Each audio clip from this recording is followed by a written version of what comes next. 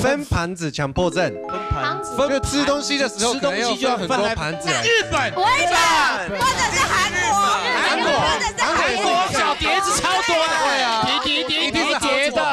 这两个国家，我觉得。到底是哪一国呢？是日本。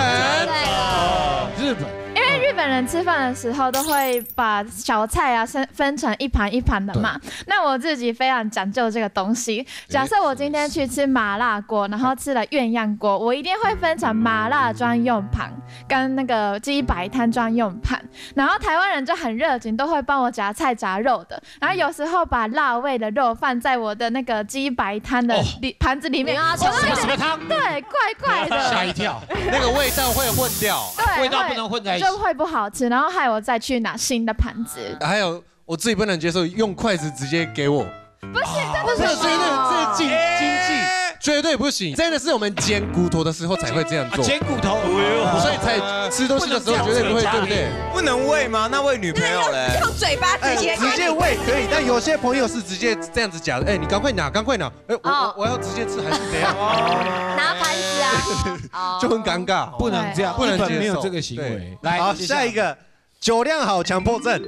哎呦，这里这里应该只有俄罗斯也会喝酒的酒量应该很哦，好。对，俄罗斯，谁？俄罗斯吗？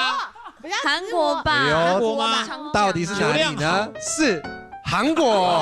韩国吗？是吗？这个我先跟大家解释，先讲重点，就是说，其实韩国人的 DNA 那个能够喝酒的人不到四十八。啊其实其实一半以上其实不能喝酒因为他的那个肝功能其实不能喝酒。啊，大家都误解说韩国人超会喝酒，是不是？对啊，对，我觉得这个有点问题说，我发现呢，如果你的酒量不好，等于你的所有的事情跟体能，还有你的工作的能力都不好。啊所以虽然就是酒量不好，也是说啊，硬着说啊，呃，我酒量还好，还可以这样子，然后就一起就喝，着发现，哎，其实酒量不好。可是我觉得韩国人厉害的是很会喝混酒，对烧酒、混烧酒配啤酒，对不对？啤酒会混来混去，很可怕很可怕。的确是那个混酒是顶顶多是啤酒跟烧酒混一下这样。那对台湾是都喝的是烈酒哎，whisky 跟那个高粱哦，还有高粱，我们我们在全世界的那那个，你看我们人口才多少？两千多万而已，可是，在 whisky 的销量来讲是前前几名的前几名，对，真的。全世界前几名的。我们买那么多 whisky 来喝，对哎，对？你们大家都普遍来讲都觉得台湾人是会喝，超会的，超会台湾的超会对外国人台湾人很喜欢版的啊，很喜欢干，他们把喝酒当成一个一个社会一个类似地位的东西。你开会啊，因此就是要喝酒，就是要喝酒，所以你们就很厉害。因为我发现好像外国人喝酒都会喝比较慢，他们就随性偏享受型。他们感觉在饮酒。一定要把对方灌就是要醉，追酒，我要把你灌醉。台湾人叫你杯是，子我们是空的，先干，先而且干你为什么？对，好像处罚一样你。为什么还这么清醒？对，为什么？对啊，赶进度。快点，公杯，迟到三杯。飞，这个你们还有那种什么最菜的要记一轮整桌对对的，记一轮就十杯下去了，谁受对啊，得了？你刚来不用一个一个敬哦。就是这样子，然后搞到最后一定要有有的人吐啊，有人倒啊，要对，才 OK，弄到要见到有人倒地，有人倒地，对不对？然后到或者是有人中风，有人坐轮椅，没办法来录影，一定要这样吗？我们尽是是可是量力而为嘛，对不对？适可而止。来，接，下来下一个外表强迫症。哎呦，干是很法国人的吧？韩国吧，还是韩国？韩国吧，对，因为韩国人爱打扮。看一下是哪里呢？是法国。俄罗斯。为什么？为什么？哪里呀？为什么？是啦，这样子，哪里？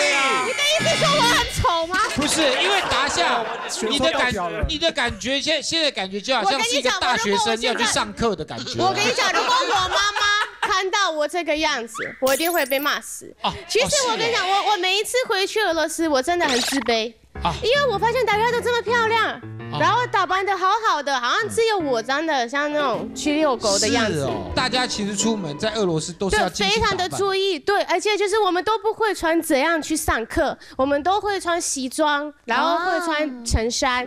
可是最重要的点是，就是跟台湾不一样，我们都会先烫衣服再出去。台湾完完全不会烫衣服，我们大家都是皱皱的，皱皱然后就是出去，天哪！对啊，在俄罗斯，大家都打扮的像俄罗斯娃娃一样，对，然后就是打开以后还有一个，打开一个，还有一个，打开一个哦，你知道这么小的衣服都还是有烫过的哦，对啊，然后每个都是烫过的，都是顺顺的，对啊，其实细节都要做，尤其是女生，所以真的就是我跟我朋友去吃饭，我真的觉得很自卑，他们都看起来像在台湾的婚礼一样子那种，好像对，可是台湾的去参加台湾婚礼的客人，好像也都是在遛狗，感觉对，因为真的完全不会穿衣服的，真的，好像只有新娘跟新郎就穿的比较正气，比较好看，可是其他的都很随便。了解了，好，接下来好强迫症的部分，跳舞强迫症，感觉好嗨哦，就巴西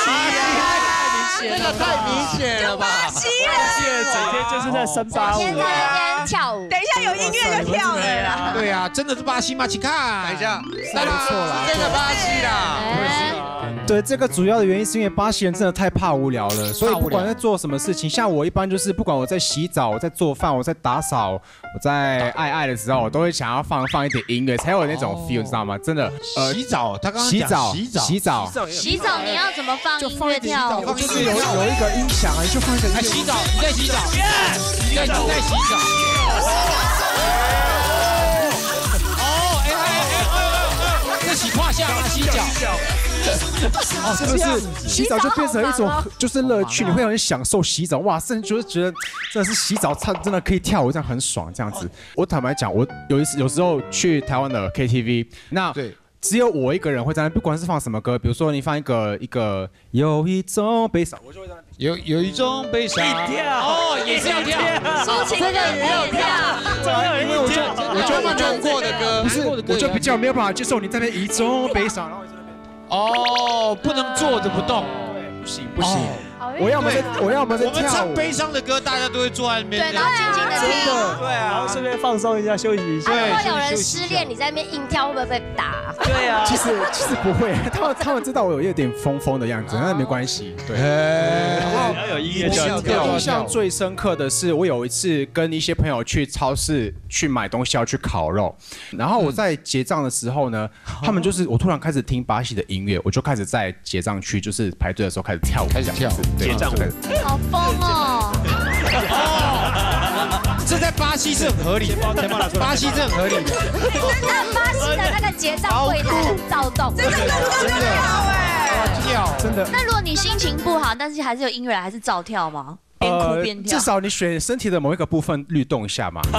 哦。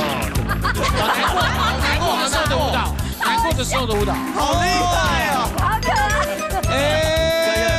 难过的感觉，有有有，看得出来你心情不好，跳着跳着就开心了，真的。哎，这真的在日本是没有办法想象的吧？对，我们没有这个文化。没有没有没有。极力极力撇清，你感觉好排斥。是哦，很多那个韩国明星去日本那个看那个办演唱会的时候啊，哎，明明是舞蹈跳歌哦，但是站起来耶，Come on baby，然后日本人在干嘛呢？